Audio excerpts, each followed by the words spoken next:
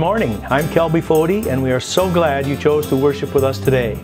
It is our prayer that you have a meaningful encounter with God and the people here at First United Methodist Church. Here are a few things coming up. Feeding the hungry in Sioux Falls is a priority to us. We have several ways you can help. You will notice the orange Stock the Food Pantry shelves bags are out. You can take a bag home and fill it with some of the needed items and bring the bag back next Sunday. January 26th, we will be serving dinner at the Banquet West location.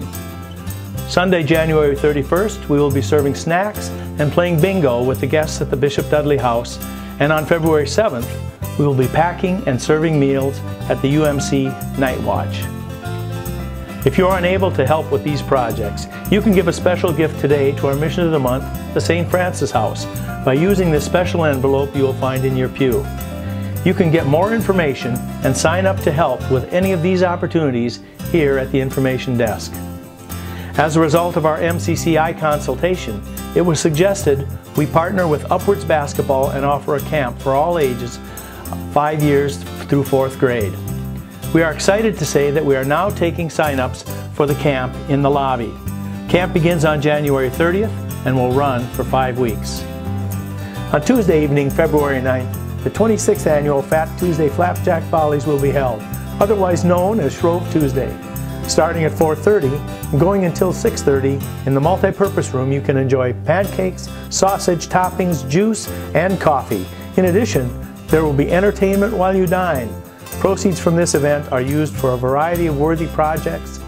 Last year, the Chancel Choir purchased musical instruments for needy students who might not have been able to participate in band without our help.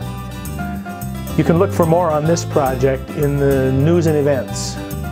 Also, if anyone has some talent they would like to share, we would love to have you participate in the entertainment portion of Shrove Tuesday.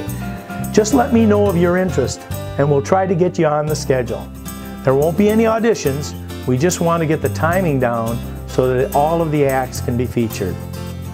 For more events and information on pretty much anything, see the folks at the Information Center. You can stay connected to us via Facebook, YouTube, and our website. Remember, if you know someone who is unable to attend worship, they can watch the entire services via live stream at 8.30 and 9.45. Thanks again for joining us and have a great day.